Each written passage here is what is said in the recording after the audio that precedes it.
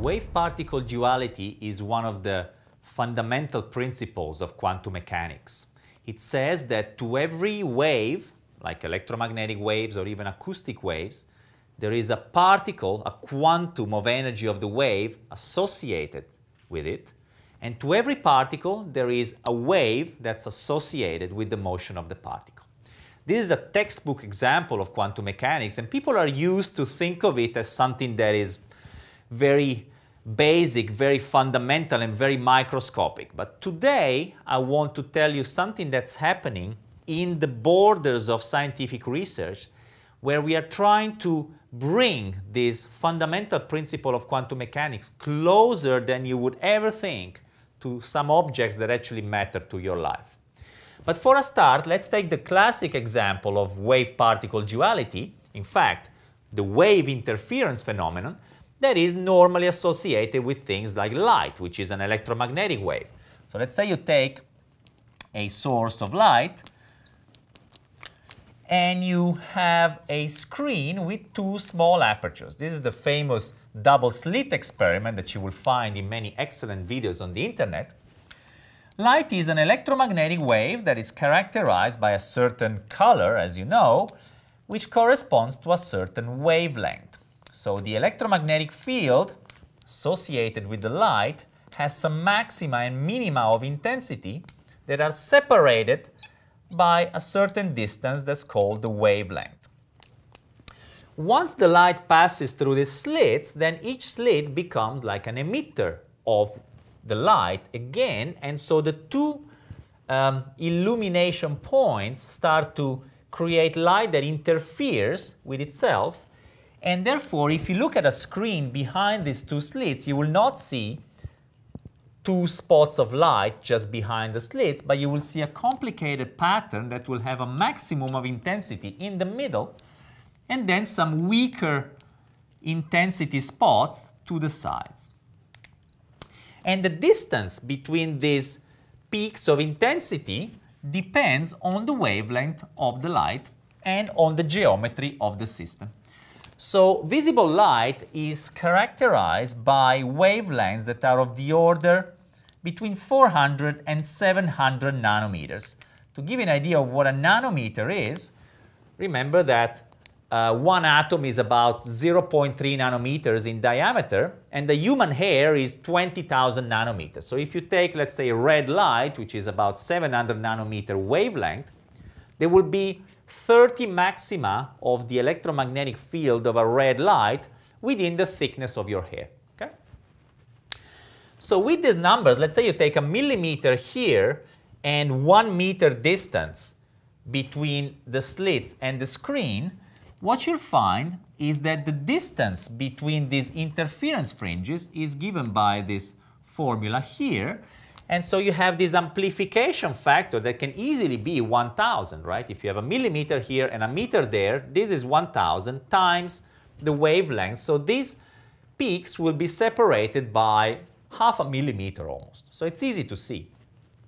Now things become a lot more profound and sophisticated when you try to do the same experiment with matter, with objects that classically people are used to think of as particles, but in fact, they also have a quantum mechanical wave associated with them. So let's say you repeat the same experiment where instead of a source of light, you have a source of particles.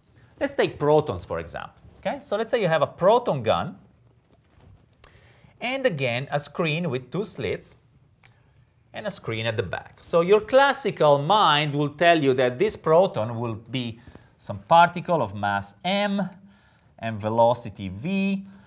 And it can only go through one of the two slits. So let's say it goes this way, you will find a proton here.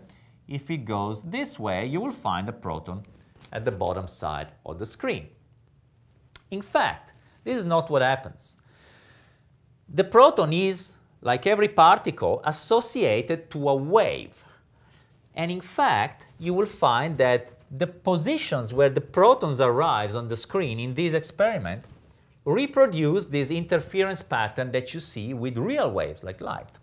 So you will find many protons amassing themselves in the middle behind this screen here, and then some others here, and then some others here, and some others there, and so on. The same pattern as you see with light. But this has actually a very profound meaning. What it means is that the proton has gone through both slits.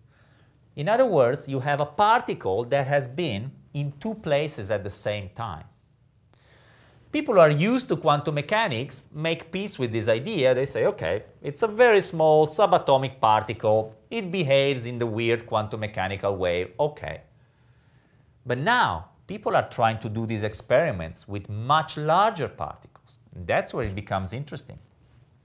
Again, what does it take to see this interference pattern? Same story, you need to know what is the wavelength of the wave associated with the proton. If you do the maths, you put in the uh, mass of a proton and you take a velocity, for example, one meter per second, very slow velocity, the formula for the wavelength tells you the wavelength is the Planck constant, the fundamental constant of quantum mechanics, divided by the mass of the velocity. In this case, for the proton, you will get a 400 nanometer wavelength, which is the same as violet light, with a velocity of 1 meter per second. So with the same apparatus, you can see the quantum interference of a proton, which means the proton has been in two places at the same time. But this is actually not too hard to see. So can we push it a little bit harder? Can we try and see the quantum interference, the, the wave-particle duality of something bigger? This has been done already several years ago. People have managed to see the quantum interference with a molecule called carbon-60 or fullerene or buckyballs. It's called a buckyball because it looks like a soccer ball. It's got six carbon atoms in a pattern that reminds of a soccer ball. And this is a molecule that has an atomic mass units of 720. So it has 720 protons and neutrons. It's a fairly large and fairly heavy molecule. And yet, if you make this distance very small and this distance fairly large, you can still see the interference pattern. The current record is 430 atom molecule. It's a complicated molecule that I'm not going to describe, made out of 430 atoms and 6 nanometers in diameter. 6 nanometer is a small size, but it's actually not that small. If you take the smallest virus known, it's called the porcine circovirus, it's 17 nanometers.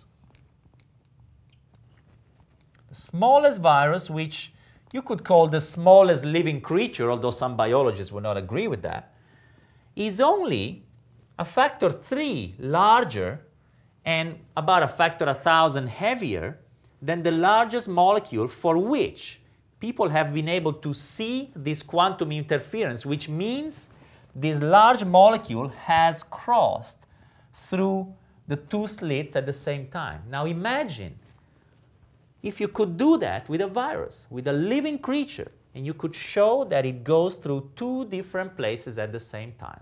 This is what quantum mechanics in principle tells you should be possible. Whether we will be able to demonstrate that or not, this has not yet happened with viruses, depends simply on the progress of the fabrication and the construction of scientific instruments that are allowing us to get more and more insight into how the quantum mechanics of subatomic particles can move towards our daily life.